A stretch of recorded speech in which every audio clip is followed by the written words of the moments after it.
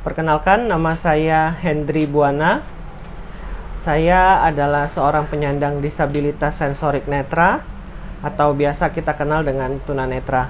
Usia saya saat ini 34 tahun dan domisili saya di Jakarta Pusat. tak tanya gitu Itu ya, terganggu. Usaha saya saat ini usaha kecil-kecilan di rumah membuat makanan ya. Jadi berhubung saya orang Palembang asli, jadi makanan yang dijual nggak jauh-jauh dari makanan khas Palembang, yaitu empek-empek. Selain empek-empek, saya juga buat martabak kentang, ada keripik kentang, terus yang sekarang terbaru karena saya baru belajar masak, jadi ada bolu kukus, ada brownies.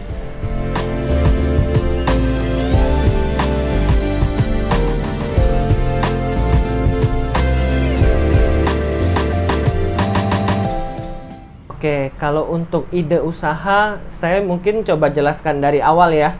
Kenapa saya bisa memulai usaha ini. Jadi, ketunanetraan saya ini saya alami bisa dibilang baru ya, belum tiga tahun. Dari Juli 2020. Nah, sebelum saya menjadi tunanetra, saya itu bekerja di salah satu bank swasta di kota Makassar Nah, ketika saya mengalami gangguan penglihatan ini, otomatis saya harus mengundurkan diri dari kantor, dari pekerjaan saya. Karena nggak mungkin seorang karyawan bank kita nggak bisa lihat spesimen tanda tangan atau lihat bukti transaksi. Itu kayaknya menjadi suatu hal yang nggak mungkin. Jadi saya mengundurkan diri dari kantor. Awalnya saya nggak ada kegiatan apa-apa, tapi kan namanya kita laki-laki nggak mungkin kita cuma duduk diam nggak menghasilkan uang untuk kebutuhan kita sendiri. Apalagi kita sudah terbiasa kerja selama 12 tahun. Jadi awalnya saya bingung nih sebagai tunanetra saya nggak lihat apa yang bisa saya lakukan apa yang bisa saya buat. Jadi pertama-tama usaha saya itu saya awali dengan buat rosario seperti ini. Kemasannya seperti ini. Jadi awalnya itu rosario seperti ini dulu saya buat. Ya puji Tuhan lumayan. Puji Tuhan juga orderannya ada-ada saja. Tapi kan kalau rosario ini namanya produk yang segmented ya. Nggak semua orang bisa beli. Nggak semua orang pakai rosario ini. Dan ini adalah produk yang satu untuk jangka waktu yang lama. Jadi mungkin orang beli satu kali udah selesai, nggak nggak ada kelanjutannya lagi.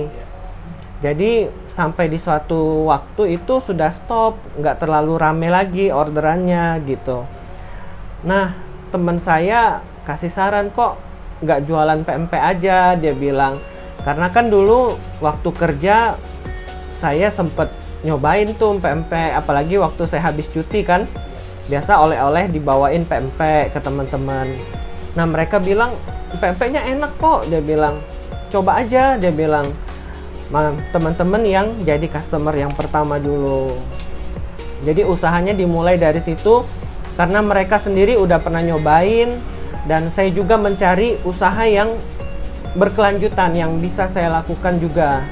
Memang pempek ini bukan saya yang buat mama saya yang buat tapi saya melakukan apa yang bisa saya lakukan. Seperti packing kan saya bisa tuh. Kalau ada yang pesen frozen sudah jadi saya bisa masukin ke plastik vakum terus saya vakum saya freezer ke kulkas. Saya lakukan apa yang saya bisa lakukan. Seperti promosi ke sosial media saya juga bisa lakukan ya saya lakukan gitu. Masih panas kan tapi ada juga sih kadang yang pesannya udah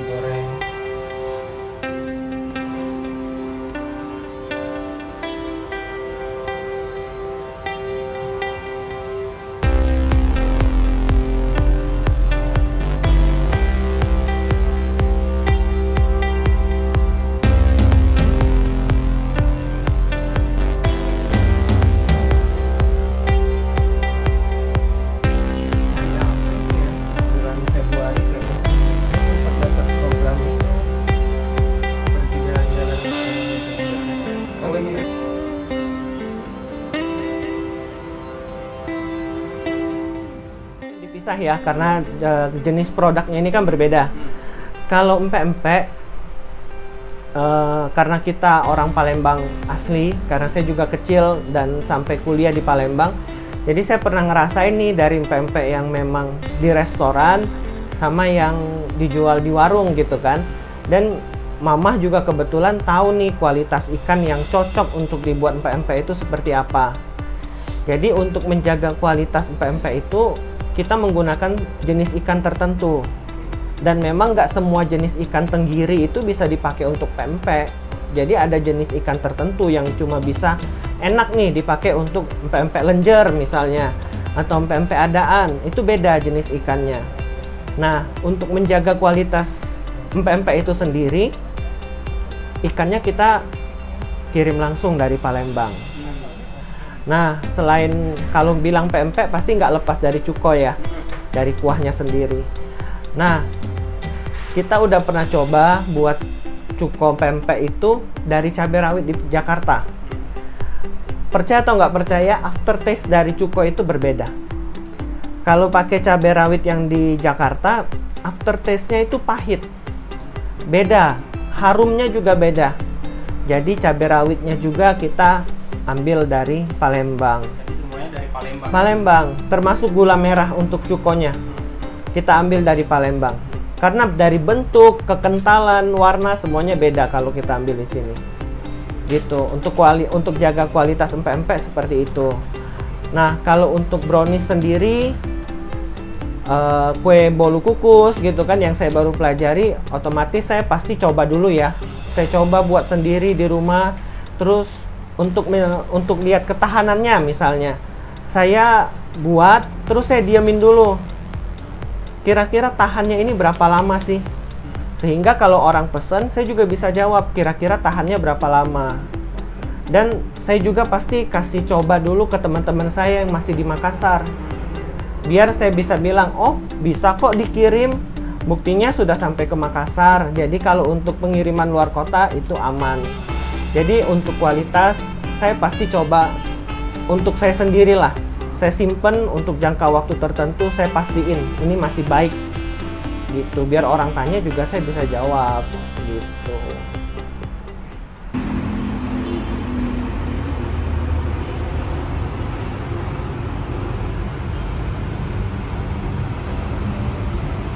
Untuk tantangan ya, tantangan dalam menjalankan usaha namanya kita usaha produk makanan otomatis tantangannya itu nggak setiap hari. Orang itu pasti makan produknya kita ya. Kayak empek-empek. Nggak mungkin kan tiap hari orang makannya empek-empek gitu kan. Jadi ya tantangannya ada waktu-waktu tertentu lah. Kadang ini pempeknya yang laku pempek terus tuh tiap hari yang keluar. Kadang ada kalanya cuma brownies, kue, martabak, ada waktu-waktunya sendiri lah. Dan dari sini juga saya terus cari produk yang bisa seimbang. Kan kalau awalnya saya buat Rosario, saya lihat waktunya itu nggak lama gitu kan, cuma sekali doang. Beranjak ke empek-empek. Beranjak ke empek-empek, orang kan nggak juga makan empek-empek terus ya. Jadi tantangan ke, dari ke sayanya saya harus berpikir lagi apalagi yang saya bisa buat biar orang itu nggak bosen gitu loh. Ada produk lain lagi yang manis, nah kayak brownies, bolu kukus. Nah secara nggak langsung ada suatu lini produk lagi yang saya bisa tawarkan nih selain brownies, bolu kukus, empek-empek. Saya bisa bilang oh ada snack box nih di saya. Kalau mau snack box juga bisa satu bolu kukus, satu martabak kentang, nanti satu slice brownies gitu. Jadi ada ya tantangannya itulah kita harus pinter-pinter lihat waktu, lihat pasarannya kita itu maunya seperti apa gitu.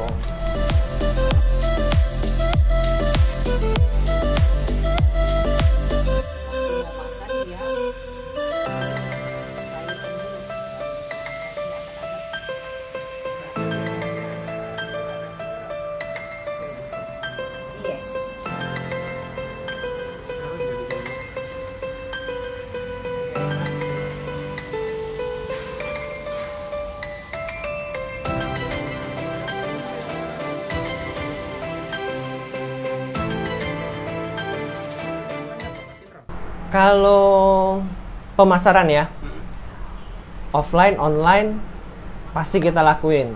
Apalagi sekarang kan sudah dunianya digital ya, semua dilakoni. Jadi kalau offline kayak kasih tester ke orang, ke teman-teman gereja gitu kan, pasti aku saya kasih.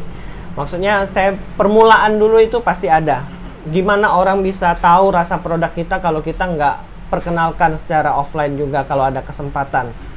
Nah, kalau online sendiri, puji Tuhan saya bisa menggunakan Instagram, saya bisa melakukan lewat WhatsApp status gitu kan. Ya, yang bisa saya lakukan secara offline dan online saya lakukan.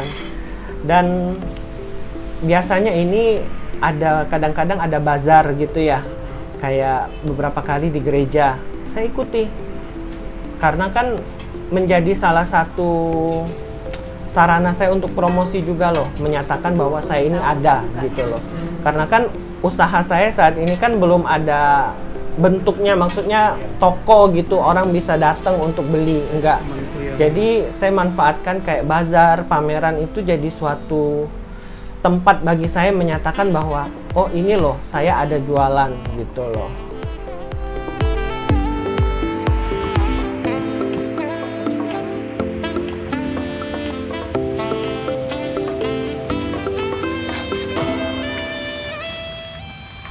Uh, untuk peran dari kita saya ya support system saya.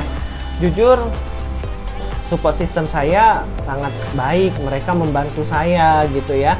Kayak keluarga bisa dibilang usaha yang saya jalani ini ya usaha gotong royong ya. Selain saya sendiri berpikir saya bisa buat apa otomatis sebagai disabilitas saya akui ada beberapa poin yang mungkin tidak bisa saya lakukan sendiri jadi pasti saya minta tolong ke keluarga saya dan keluarga saya mau membantu saya. Memang sebagai disabilitas kita dituntut untuk mandiri kan, e, berusaha melakukan sendiri. Tapi di poin-poin tertentu kita akui memang ini porsi saya, saya nggak mungkin bisa lakukan sendiri. Kayak contohnya menggoreng gitu kan, ada yang pesen snack box kemarin 90 piece martabak kentang harus digoreng gitu kan. Saya bisa goreng tapi paling banyak satu wajan itu dua atau tiga gitu. Paling banyak itu. Gimana mau selesain orderan kalau cuma bisa goreng segitu? Otomatis ya saya minta bantuan ke mama untuk goreng. Tapi dari prepare dari ngebungkus martabak itu saya bisa lakukan sendiri. Dan teman-teman puji Tuhan sih support ya dan ya saya harus pintar-pintar juga lihat situasi. Misalnya teman saya lagi gajian apa apa habis THR gitu ya. Saya masuk di tanggal-tanggal segitu. Karena ya namanya orang baru gajian pasti kan lebih daya belinya itu jauh lebih baik lah. Iya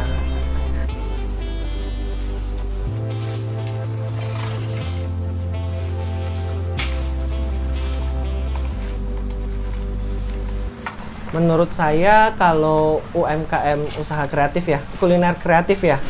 Kuliner kreatif ini bagi seorang disabilitas itu peluangnya ada ya. Maksudnya bagus. Asal dari disabilitasnya ini sendiri mau berusaha. Jadi kembali ke kitanya lagi sih. Kitanya mau berinovasi, kita berani coba gitu kan. Pasti gagal sih. Awal-awalnya pasti gagal tapi kalau kita stop di gagal itu doang ya nggak bakal bisa. Makanya kalau saya bisa bilang potensinya ada ya kita bukan apa ya kayak kita disabilitas kita bisa menghasilkan suatu produk pun itu menjadi suatu kebanggaan sih. Hmm. Itu menjadi suatu hal yang sebenarnya wah saya disabilitas saya nggak lihat tapi saya bisa menghasilkan. Nah itu juga jadi suatu peluang sih untuk mohon maaf ya kayak hal yang bisa saya banggakan juga sih. Nah, itulah peluangnya juga sih bagi saya kayak gitu. Karena kan kalau tunanetra itu identiknya mungkin kayak massage ya, pijat. Tapi kalau untuk makanan kayaknya sekarang masih bisa dibilang agak sedikit kurang ya. Jadi ya ini peluang buat saya apalagi ada tempat yang mau mengajari tunanetra untuk masak. ada produk yang dia tawarin dan ternyata saat dilempar ke pasar responnya juga lumayan nih gitu. Jadi ya asal kita mau berusaha coba sih. Pasti bisa kok. Dan pasti ada ada jalannya sendiri lah. Waktu saya bikin brownies bikin bolu kukus gitu ya pertamanya pasti gagal. Pasti gagal itu kan bolu kukus ceritanya kayak mekar gitu ya? Mekar. Waktu pertama kali bikin semuanya mekarnya ke samping semua. Bukan kayak bunga. Jadi ya pas saya penasaran. Jadi saya buat lagi. Koreksi lagi yang mana nih? Di titik yang mana yang salah? Jadi akhirnya sekarang bisa dapet triknya gimana? Bisa jadi dia mekar. Bahannya apa gitu? Jadi ya kayak brownies juga pertamanya bantet waktu dibuat nggak tinggi ke atas gitu mandek gitu doang tenggelam malah. Kalau saya males dan nggak mau coba ya saya nggak bisa masuk ke pasar kuliner itu lagi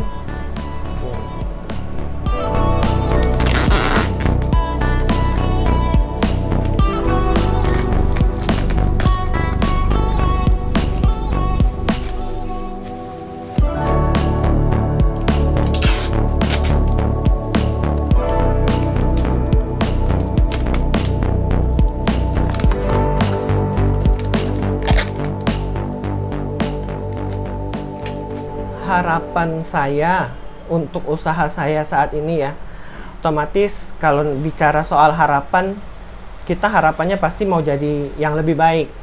Jadi usaha saya saya harapkan ke depan bisa jadi lebih besar lagi gitu kan. Bisa lebih ya tidak menutup kemungkinan ada bentuknya lah. Mungkin ya ada toko kah atau ada kedai satu yang bisa orang datang gitu loh orang datang duduk dan makan gitu. Itu sih harapan saya. Dan kalau kontribusi untuk teman-teman netra ya saya nggak menutup kemungkinan kalau nanti ada reseller atau ada yang minat untuk menjualkan ya pasti kita ada bicara soal bagi hasil atau komisi gitu kan pasti ada.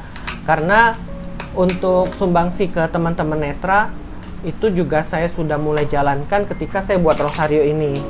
Ketika saya buat rosario, waktu itu puji Tuhan sempat ya bisa dibilang booming gitu ya. Ada sempat pesanan sampai 3000. Saya nggak mungkin selesaikan sendiri rosario itu. Jadi saya bagi ke teman-teman yang sama-sama tunanetra. Saya menjaga itu karena di uh, packaging saya pun saya tulis dibuat oleh seorang tunanetra. Jadi biarpun bukan saya yang buat, saya tetap kasih ke teman-teman tunanetra saya biar mereka juga bisa dapat penghasilan juga dari ini. Gitu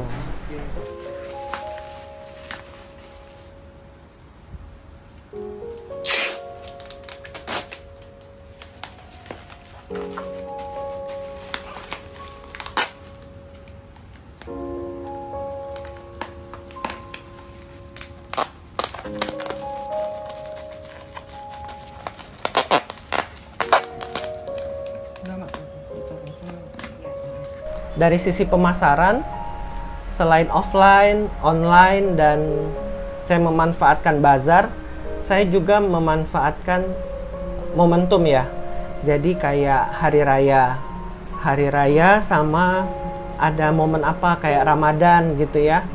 Puji Tuhan saya buat paket Ramadan gitu. Jadi ada du paketnya dua kapal selam nanti gratis satu adaan dan puji Tuhan laku ada 20 pack lah kurang, kurang lebih. Nah terus kalau lihat hmm, Natal saya buat hampers. Nanti hampersnya bisa dari empek-empek atau nanti saya uh, bikin dari permen atau apa. Dan itu pun saya buat untuk Imlek untuk lebaran. Gitu. Jadi ya pintar-pintar lihat waktu lihat hari raya apa gitu. Kita masuk aja